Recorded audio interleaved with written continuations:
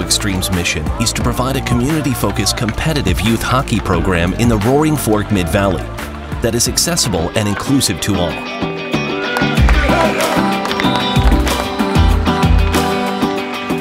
Any child eager to play hockey is invited to play with Colorado Extreme at no cost.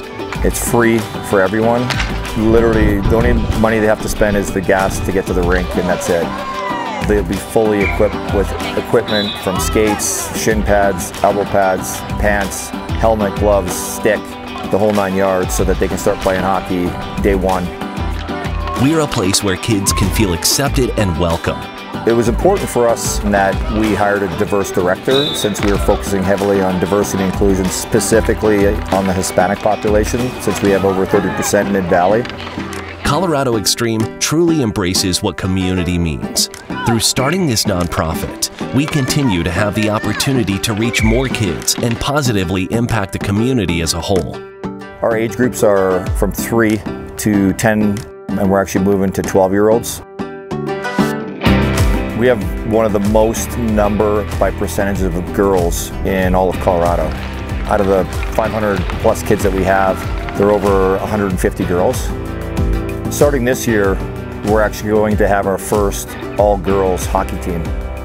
And we expect to be playing for a state championship. That's how good they are and that's how good our coaches are.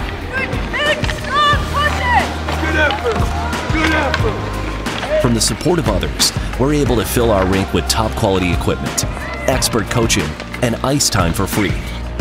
That tells a player when they come in that we're excited they're here and we expect the best from them. So we're going to give them the best chance at becoming their best self.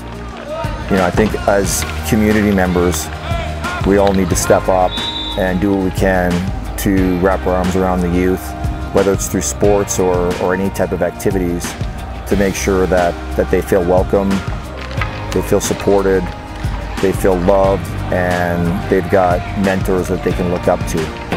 And we're, we're really passionate about that here.